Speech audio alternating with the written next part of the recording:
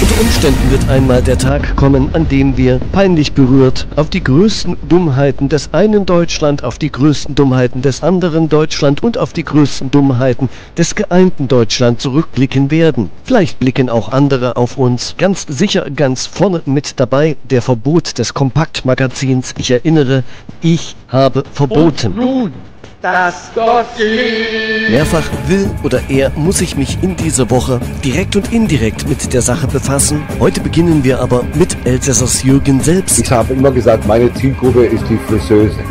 Ja, was interessiert die Friseuse? Das muss aufs CDB. Und schon greift er in die ergrauten Strähnen. Nein, die Friseuse ist nicht die Zielgruppe der kleinen Audiodatei. Liebe Kulturfreunde und Freundin Don, Schlagerfreunde oder Schlagerfreundin Don. Und wenn wir alle mal ganz erschöpft sind, liebe Schafe, wenn Stress uns ereilt, schnell mal ein Schaf scheren. Und nun das Gottlieb.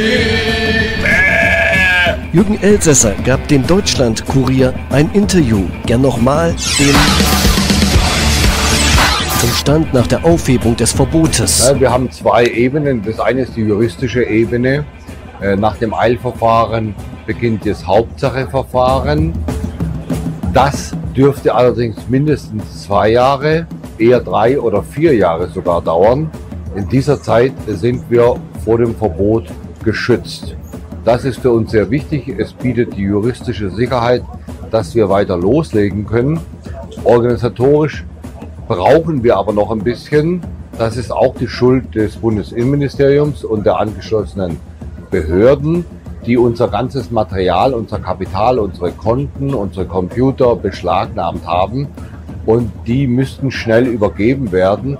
Ich rechne da aber mit einer Hängepartie, wo wir juristisch nachfassen müssen. Und natürlich will man schnell publizistisch wieder tätig Äh, werden. Die September-Ausgabe werden wir vermutlich überspringen müssen, äh, weil wir da noch nicht äh, bereit sind, im gewohnten Standard liefern zu können. Wir haben jetzt erstmal die August-Ausgabe, die ist ja schon gedruckt worden, lag dann auf Eis wegen des Verbots. Die kommt jetzt aus der Druckerei. Nächste Woche kann jetzt schon vorbestellt werden. Äh, nähere Angaben zur Vorbestellung auf meinem Kanal bei X. Das Dossier. Und der nächste Schritt ist dann Kompakt TV wieder ins Laufen zu bringen. Unser Studio ist ja auch beschlagnahmt. Und was schlimmer ist, wir mussten die Räumlichkeiten des Studios kündigen, weil wir die Miete nicht mehr bezahlen konnten. Wir müssen uns also auch ein neues Studio suchen. Äh, deswegen rechne ich nicht vor Anfang September mit dem regulären Sendebetrieb. Wir werden aber vorher einige Sondersendungen vermutlich schalten. Und äh, wir steigen dann ein mit der Ausgabe, die nach den Brandenburg-Wahlen produziert wird. Die Brandenburg-Wahl ist ja am 22. September und die letzte dieser drei entscheidenden Landtagswahlen.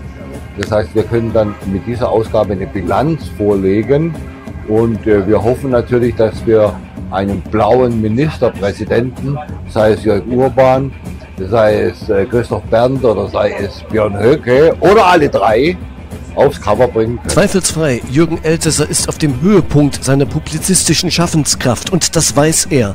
Danken kann er Nancy Faeser. Da ich andere Leute ungern als blöd einstufe, stelle ich mir schon manchmal die Frage, können politische Entscheidungen, die ja nicht von Einzelpersonen getroffen werden, so blöd sein? Oder will man den publizistischen Aufstieg des Jürgen Elsässer, wie er richtig einschätzt. Seinen 40.000 Abonnenten kennen ihn zwei, vielleicht auch drei oder vier Millionen Menschen. Nach dem ganzen Rummel der letzten Wochen dürften es 50, 60 Millionen sein. Zwei Pressekonferenzen gab er in der vergangenen Woche, eine gemeinsam mit der AfD, eine selbst. Es lohnt sich, diese anzuschauen, trotz der mäßigen Qualität. Man findet sie auf YouTube. Journalisten auch von ARD und Spiegel NTV gaben Fragen. Elsässer beantwortete genüsslich. Seine Frau schaltete sich ein auf die Frage, dass Leute von der NPD bei Kompakt arbeiten würden. Großzügig erklärte sie, auch Linke würden bei Kompakt arbeiten. Sie selbst war mal Mitglied der CDU. Hörer der kleinen Audiodatei wissen das, weil ich mich mit den Dingen beschäftige, worüber ich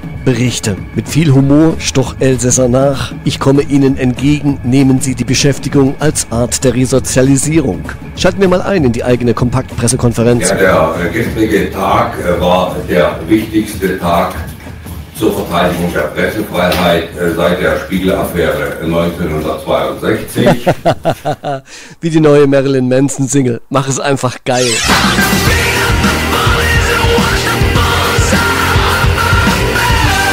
Mitschlager, die beiden aktuellen Marilyn Manson-Schlager nur auf Radio Marabu. Paul Klemm vom Kompakt TV auch bei selbiger Pressekonferenz. Wir erfahren riesige Unterstützung weit über das patriotische Lager hinaus. Also man kann Faeser fast schon dankbar sein für das, was sie gemacht hat, weil das Interesse ist so groß wie nie an unserer Arbeit und natürlich auch die Unterstützung für unsere Arbeit ist so groß wie nie. Und mit dieser Unterstützung, also es werden schon äh, Spenden gesammelt, zum Beispiel vom Soli-Fonds von 1%, damit wir schnell wieder an den Start gehen können. Mit dieser Unterstützung können wir auch sehr schnell wieder mit TV an den Start gehen, weil das ist eben unser Aushängeschild, unsere tägliche Sendung, die wir gemacht haben, jeden Tag 20 Uhr unter der Woche, Brennpunkt des Tages. Und den werden wir jetzt schnell wieder angehen und äh, er wird größer und besser sein als jemals zuvor.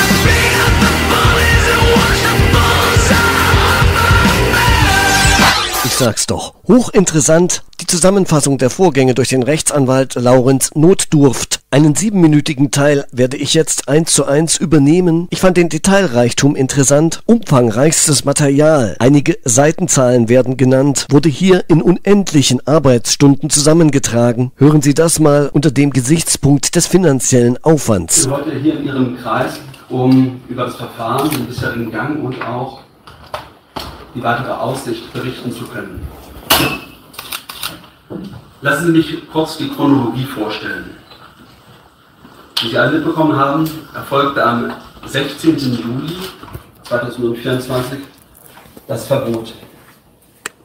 Frau Bundesinnenministerin Faeser trat vor die Presse und erklärte, ich habe heute das rechtsextremistische Magazin Kompakt verboten. Das Verbot erfolgte mit der Anordnung des Sofortvollzuges gegenüber dem bundesweiten Kompaktmagazin, gegen die das Magazin herausgebende Kompakt Magazin GmbH, gegen deren Tochtergesellschaft und gegen acht in der Verbotsverfügung namentlich bezeichnete Journalisten sowie Redaktions- und Verlagsmitarbeiter. Die Verbotsverfügung hat 91 Seiten und eine Fülle von Einzelvorwürfen. Wesentlich ist, dass die Bundesinnenministerin Faeser das Verbot vor allem mit der Reichweite und der Verbreitung von Kompakt begründet hat. Diese begründet die Gefährlichkeit.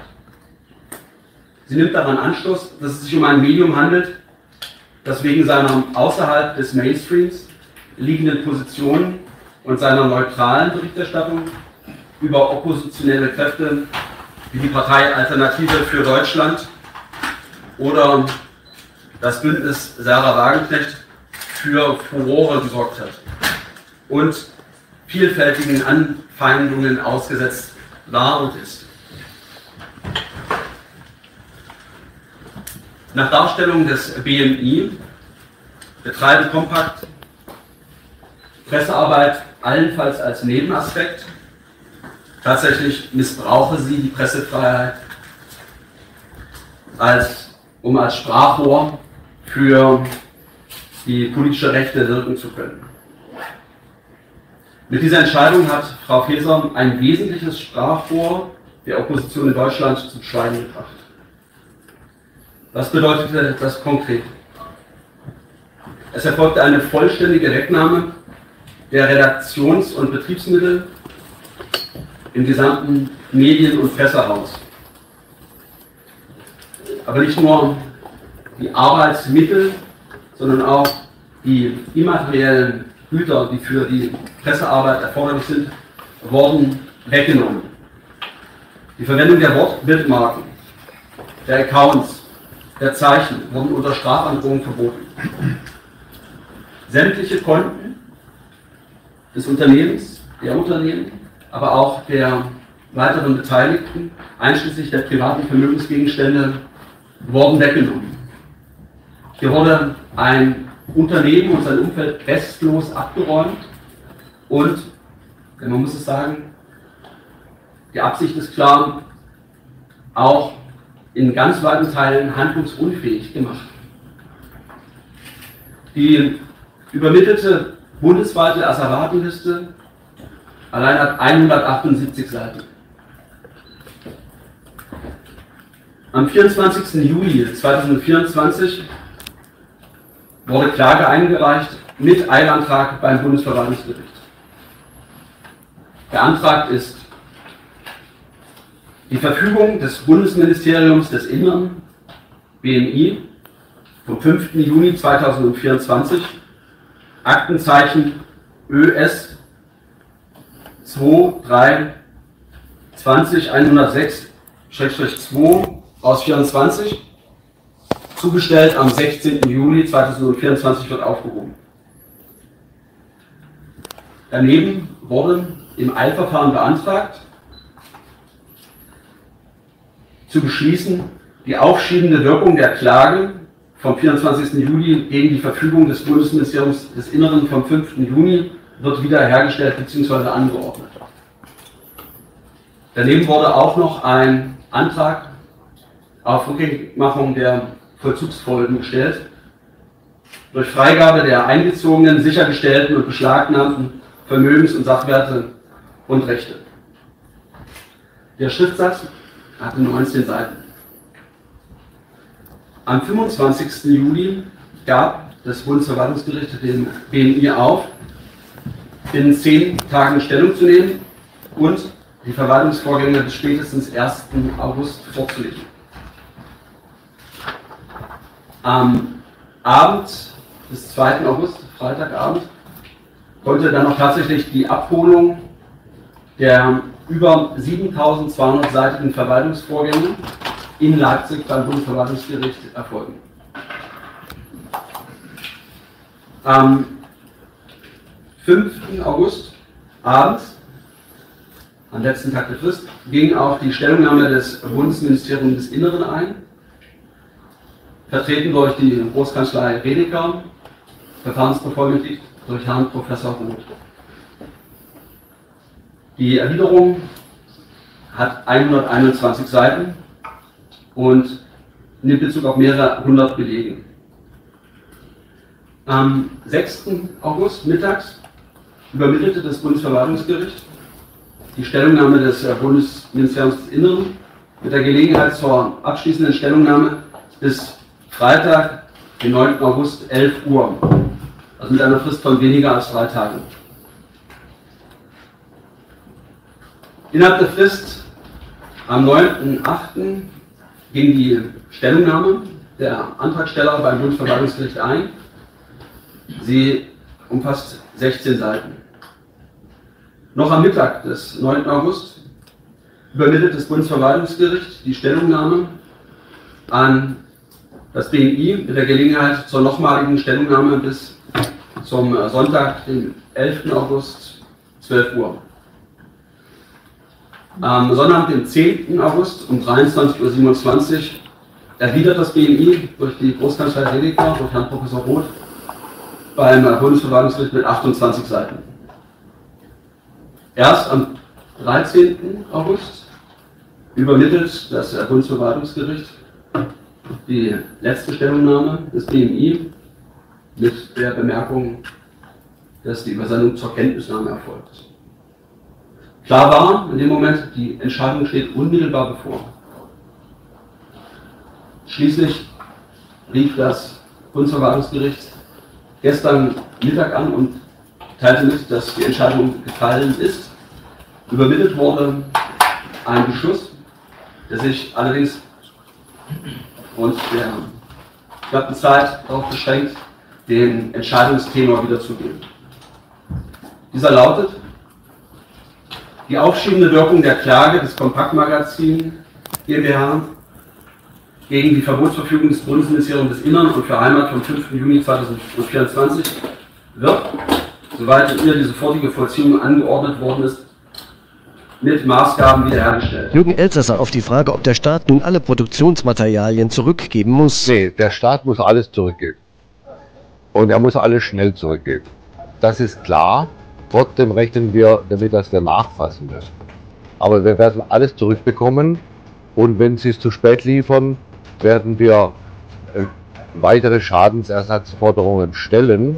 Wir werden sowieso Schadensersatzforderungen stellen, weil wir konnten etwa vier Wochen lang nicht mehr produzieren und keine Umsätze mehr erzielen. Diesen Schaden muss uns Frau Faeser oder die Bundesregierung jedenfalls ersetzen. Das ist ganz klar. Gut, wenn ich wählen müsste, ob unsere Steuergelder dazu verschwendet werden, ukrainische und russische Menschen zu zerfetzen oder eben hier bei diesem Unfug versenkt werden, dann hat dieser Unfug ja wenigstens auch Unterhaltungswert. Sehr ehrliche Worte von Elsässer über sein Unternehmen, das machen nur wenige Unternehmen. Ja, also äh, Kompakt ist ja ein sehr gut, gesundes Unternehmen. Und äh, wir haben äh, einen Jahresumsatz von ungefähr 3 Millionen Euro äh, gehabt. Tendenz steigend. Das heißt, die äh, Firma hat auch dicke Finanzpolster. Wenn wir das Geld wieder bekommen, haben wir eine hohe finanzielle Schlagkraft und unsere Auflage, unsere Reichweite wird sich ja vervielfachen nach dem, was jetzt passiert ist. Es war ja von Frau Faeser im Grunde die größte Werbemaßnahme für Kompakt, die man sich vorstellen kann. Äh, vorher kannten uns vielleicht zwei Millionen Menschen in Deutschland, also jeder dritte AfD-Wähler, sage ich mal. Äh, heute denke ich, dass, dass uns 60 Millionen äh, kennen. Und äh, das heißt, unser äh, Potenzial an Reichweite ist ungeheuerlich und analog werden natürlich auch die Einnahmen äh, steigen. Da mache ich mir gar keine Sorge.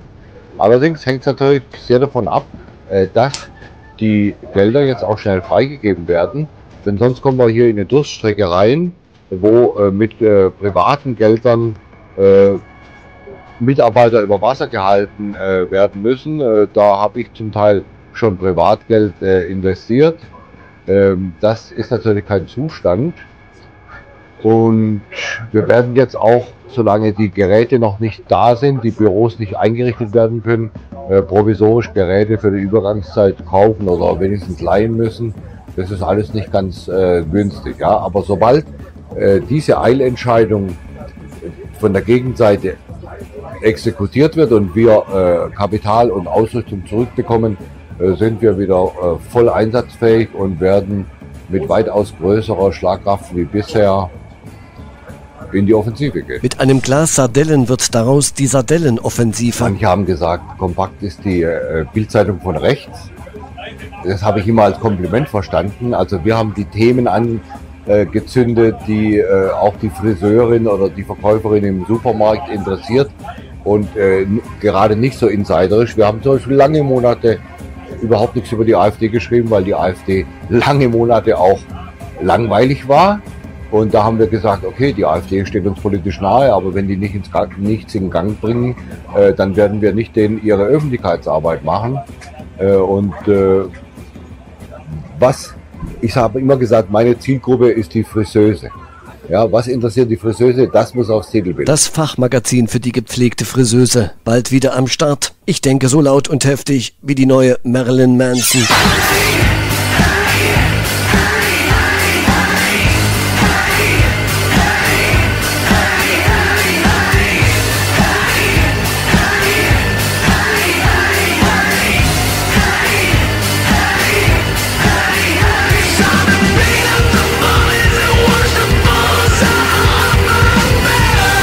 Neue Marilyn Manson. Mehr Schlager dieser Art rund um die Uhr auf Radio Marabu Europe's Alternative Music. Hier in der kleinen Audiodatei geht es gleich weiter mit mehr Wort, Wort, Wort.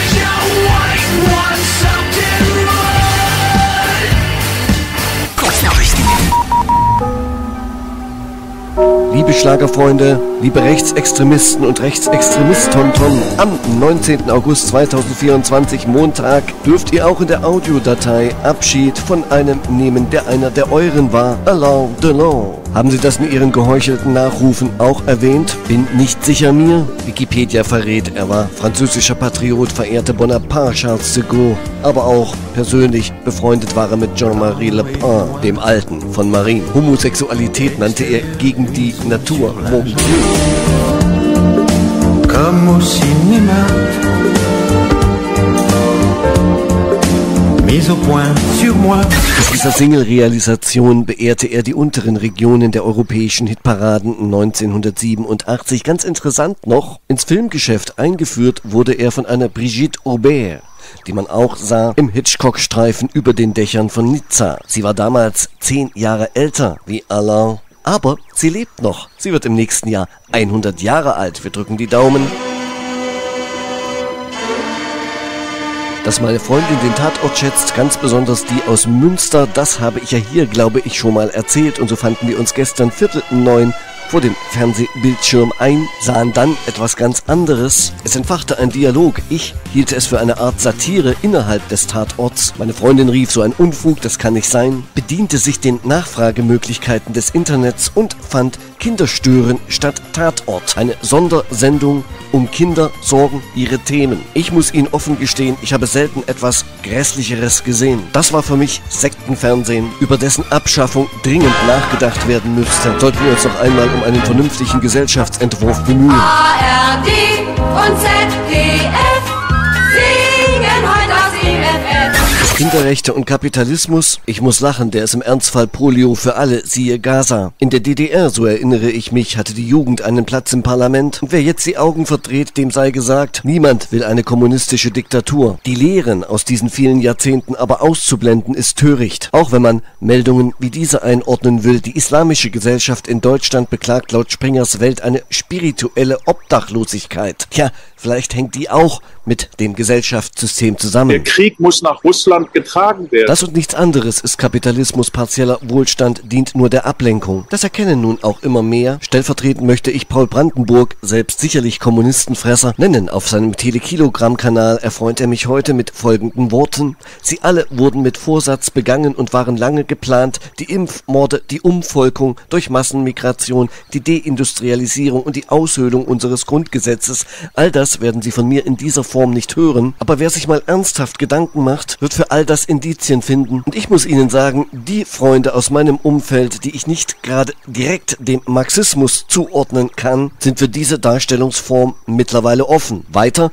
wer angesichts der erdrückenden Beweislage heute noch immer von Fehlern der Politik oder schwarzen Schafen im Staatsapparat spricht und wer deswegen vor überrissener Kritik am Regime warnt, der ist entweder ein Idiot oder ein Mittäter. EU, die mal ein Friedensprojekt sein sollte, schlafwandelt Schritt für Schritt in Richtung Krieg. Zwei Einordnungsmöglichkeiten für Aussagen wie diese haben Sie von Paul Brandenburg erhalten. Ich bin sehr dankbar, an so einem wunderbaren Tag bei euch an der Küste sein zu dürfen. Aber nochmal zurück zu dem Kinderkram auf ARD. Es moderierte Caroline Kibekus, die ich noch nie sah, aber aus einem Schlager kenne, der vor etlichen Jahren Nummer 1 der deutschen Hitparade war. Sturmmaske auf von Kollega und Farid Beng. Ihre Würdigung dieser Komikerin. Caroline Wer dich Note fickt, ist zu faul zum Wichsen. Wollen wir dieses künstlerische Werk interpretieren? Ah, ich höre gerade aus der Regie, es ist nicht nötig. Na gut, dann hören wir uns es aber nochmal an. Caroline Kebekus macht auch paar Witze, doch wer dich Note fickt, ist zu faul zum Wichsen. Auf nach Halle, Sachsen-Anhalt. Es ging um der Feuerteufel, Großbrand im Zentrum, Highfield Festival bei Leipzig, Brand im Riesenrad, ging auch international rum und Autounfall im Parkhaus. Eine 64-Jährige verwechselt Bremse mit Gaspedal, durchbricht eine Absperrung, stürzt mehrere Etagen in die Tiefe, landet auf dem Dach, schwer verletzt. Ganz unten im MDR-Bericht finde ich, es war ein Elektroauto. Tja, wir wissen, das ist sehr schwer von Gewicht und beschleunigt verwechselt man das Pedal sehr, sehr zügig. Mein Kommentar, da hatte man in Halle noch viel Glück. Dieser Mann meint, die Ukraine will eine Pufferzone in Russland schaffen. Kollege Alexander Lukaschenko verlegte Truppen an die Grenze zur Ukraine von Weißrussland aus. Der Kreml dementiert Verhandlungspläne. Die UNO nennt 2023 das bisher tödlichste Jahr für humanitäre Helfer. Sicherlich auch dank Gaza. Die Hamas lehnt Verhandlungsvorschläge ab. Israel will Foltervorwürfe gegen eigene Soldaten untersuchen. Vielleicht wäre die BRICS nicht die schlechteste Idee.